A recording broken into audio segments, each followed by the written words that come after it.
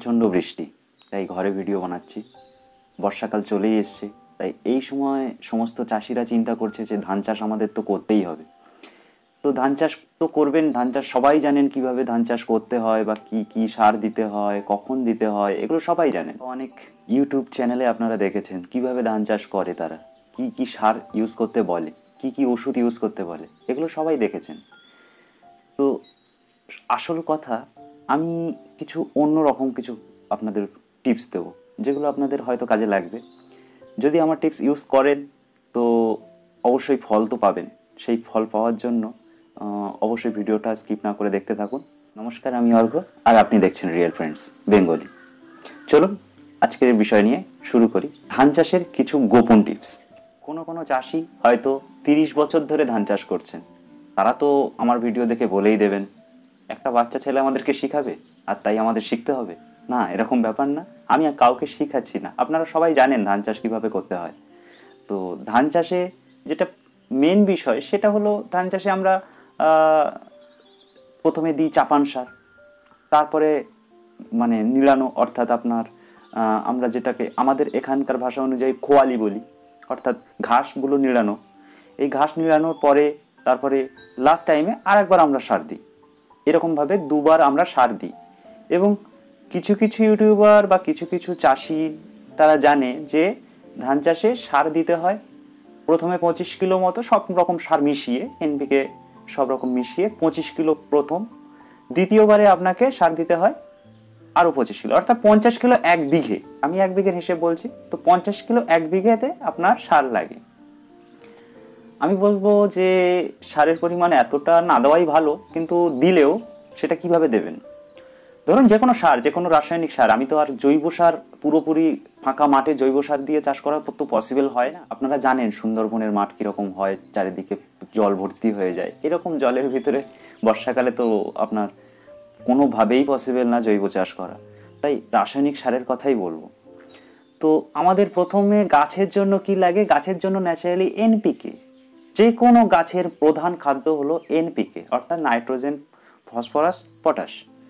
এই nitrogen, phosphorus, potash naturally nitrogen মানে আপনার ইউরিয়াতে পেয়ে যায় বা ফস, ফসফেটের ভিতরে আপনার ফসফরাস পেয়ে যায় আর পটাশের মধ্যে পটাশ পেয়ে যায়, পটাশিয়াম পেয়ে যাই তো পটাশিয়াম আমাদের কি কাজে লাগে? প্রথম আমরা ধরি পটাশিয়াম।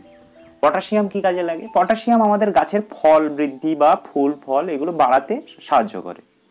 এবার আসি নাইট্রোজেন। নাইট্রোজেন গাছ বৃদ্ধিতে সাহায্য করে। তারপরে আসি ফসফেট। শক্তিশালী, অর্থাৎ গাছ শক্ত করতে এবং মাটিকে উর্বর করে রাখতে, অর্থাৎ নরম করে রাখতে সাহায্য করে। তো এই তিনটে জিনিসই মেন মেনলি গাছ খায়। গাছের খাদ্য এগুলো।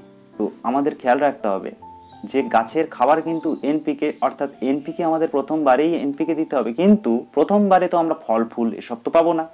সেজন্য আমাদের দেখতে হবে যে পটাশ যাতে, যে এনপিকেতে পটাশ কম আছে, সেটা আমরা ইউজ করতে পারি। যেমন ধরুন আপনার গ্রোমোর আঠাশ আঠাশ শূন্য। বা আপনারা এর আরও অনেক অনেক ধরনের এনপিকে পেয়ে যাবেন, যেটাতে পটাশের ভাগ নেই বা কম, এরকম। বা নিজেরা আপনারা তৈরি করে নিতে পারেন যে কোনো ধরনের এনপিকে আপনারা বাড়িতে কিন্তু তৈরি করে নিতে পারবেন। তো এরকম এনপিকে আপনারা বাড়িতে তৈরি করে নিতে পারেন। ইউরিয়া, ফসফেট, পটাশ, এগুলো আলাদা আলাদা করে কিনে বাড়িতে আন, এনে যদি আপনি তৈরি করেন, আপনার খরচাটা একটু কম হবে। তো এনপিকে আপনি বাড়িতে তৈরি করে নিন, সেটা অনেক বেটার হবে। তারপরে যেটা আসছি, সেটা হলো আমাদের রাসায়নিক সার। রাসায়নিক সার ন্যাচারালি গাছকে কতদিন খাবার দেয়? রাসা- রাসায়নিক যে কোনো ধরনের রাসায়নিক সার কিন্তু গাছকে খাবার দেয় দশ থেকে বারো দিন। আর যেহেতু পুরোপুরি আমরা জলে ধান চাষ করি, সেজন্য জলে কিন্তু সারটা অতদিন কাজ করে না। দশ থেকে বারো দিন না, আপনি আট থেকে দশ দিন ধরে চলুন। আট থেকে দশ দিন কিন্তু রাসায়নিক সার গাছকে খাবার যোগান দেয়। তাহলে কি হচ্ছে? তাহলে হচ্ছে কি গাছ আট থেকে দশ দিন তো খাবার পেয়ে গেল, এবং গাছের যতটুকু প্রয়োজন ততটুকু কিন্তু খাবার খেলো। তার চেয়ে বেশি কিন্তু খাবার সে পেল না। তারপরে কি হলো? তারপরে গাছ আর কিন্তু খাবার পাচ্ছে না। আমরা সার দিচ্ছি কতবার? দুবার। অর্থাৎ প্রথমবারে রোয়ার দশ থেকে পনেরো দিনের মধ্যে আমরা একবার সার দিয়ে দিচ্ছি। কেউ কেউ একটু বেশি দিনে দেয়। তো অসুবিধা নেই সেটা। মাটিতে অল্প একটু আধটু খাবার থাকে, তার থেকে গাছ খেয়ে মোটামুটি লেগে যায়, বেঁচে থাকে। তো প্রথমবারে আমরা যে সারটা দিই চাপান সার বলে অনেকে। তো চাপান সার আমরা দিয়ে দিচ্ছি, যে এনপিকে বা এরকম ধরনের যে কোনো খাবার গাছকে দিচ্ছি, সেটা অনেকটা পরিমাণ বেশি। অনেকটা পরিমাণ বেশি মানে বিঘেতে পঁচিশ কিলো। অর্থাৎ পঞ্চাশ কিলো এক বিঘেতে টোটাল ধান চাষে সার লাগবে বিভিন্ন চাষিরা বলছে বা বিভিন্ন ইউটিউবে আপনারা চাষ মানে ধান চাষ নিয়ে ভিডিওতে আপনারা দেখতে পাবেন যে পঞ্চাশ কিলো সার লাগবে। তো পঞ্চাশ কিলো সার আমি আমি অস্বীকার করব না, পঞ্চাশ কিলো সারই আপনি দিন।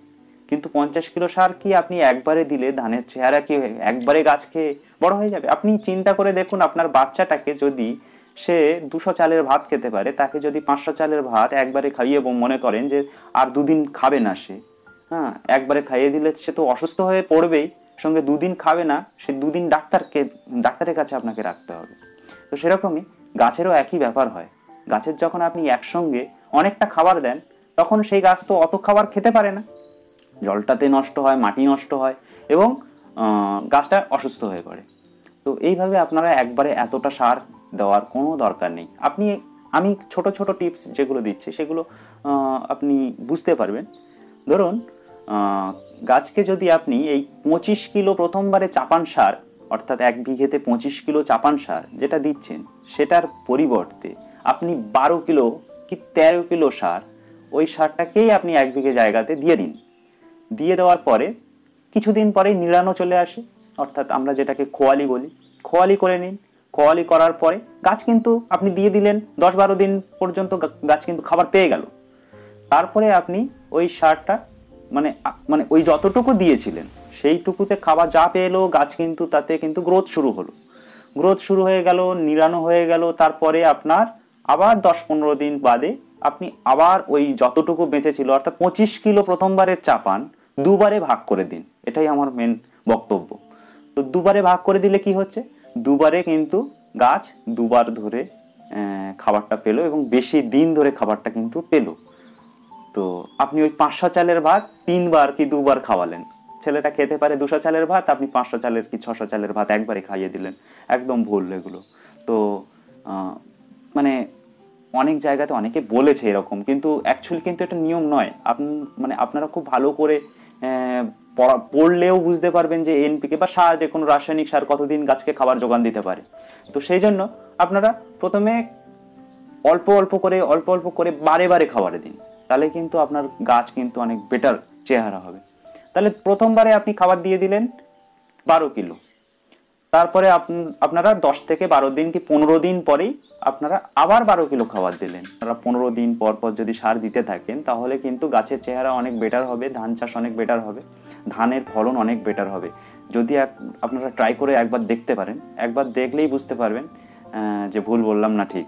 লাস্টবারের যে সারটা আপনারা দেবেন, সেটাতে যেন পটাশের ভাগ একটু বেশি থাকে। কারণ তখন ফুল ফল আসার টাইম তো পটাশের ভাগটা একটু বেশি দিতেই হবে, কারণ পটাশ ফুল ফল আসতে, প্রচুর পরিমাণে ফুল ফল আসতে সাহায্য করে। তাই পটাশের ভাগটা একটু বেশি দেবেন। ন্যাচারালি আপনারা ইউরিয়া আর পটাশ, এটাও শুধু ইউরিয়া আর পটাশ দিতে পারেন। বা ইউরিয়া ফসফেট পটাশ ফসফেটের ভাগ একটু কম দিলেও চলবে। ইউরিয়া ফসফেট পটাশ এটা মিশিয়ে দিতে পারেন। আপনারা সবই জানেন কি কি সার আপনারা ইউজ করেন। শুধু আমার একটাই বক্তব্য যে আপনারা সার অল্প করে ইউজ করুন। কম কম দিন, ঘন ঘন দিন। তাহলে দেখবেন আপনাদের ধানের চেহারা অনেক বেটার হবে। লাস্ট বছরে কিন্তু আমার ধান, আমার অ্যাক্সিডেন্ট হয়েছিল, তো আমি মানে কিছুই কন্ট্রোল করতে পারিনি। তো যাই হোক একজনের কাছে দিয়ে দেওয়া হয়েছিল, সে ওই রকম দুবার সার দিয়ে আমার ধান কিন্তু একদমই খারাপ হয়েছে, একদমই ভালো হয়নি। তো সেই জন্য আমি এই ধান চাষ এখন তো শুরু হবে সবার, সবাই তো এখন মোটামুটি ধানের বীজ ফেলবে। তো সেই জন্য আগে থেকে একটু সামান্য কিছু বলে বলে দিলাম। আর ভিডিওটা ভালো লেগে থাকলে লাইক, শেয়ার, কমেন্ট অবশ্যই করে দেবেন, সাবস্ক্রাইবটা করতে ভুলবেন না। নমস্কার, ভালো থাকবেন।